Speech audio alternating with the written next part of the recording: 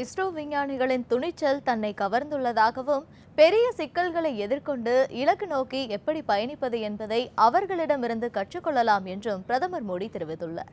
மும்பையில் மூன்று வழித்தடங்களில் நாற்பத்தி இரண்டு கிலோமீட்டர் தொலைவுக்கு புதிதாக மெட்ரோ ரயில் பாதைகள் அமைப்பதற்கு அடிக்கல் நாட்டு விழா நடைபெற்றது. இந்த விழாவில் பிரதமர் நரேந்திர மோடி கலந்து கொண்டு புதிய மெட்ரோ ரயில் வழித்தடங்கள் அமைப்பதற்கு அடிக்கல் நாட்டினர்.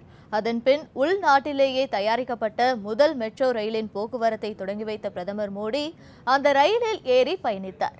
இந்த நிகழ்ச்சியில் மகாராஷ்டிர முதலமைச்சர் தேவேந்திர பட்னாவிஸ் ரயில்வே அமைச்சர் பியூஷ் கோயல் உள்ளிட்டோர் கலந்து கொண்டனர். நிகழ்ச்சியில் பேசிய மோடி இஸ்ரோ விஞ்ஞானிகளின் துணிச்சல் தன்னை கவர்ந்துள்ளதாக தெரிவித்துள்ளார்.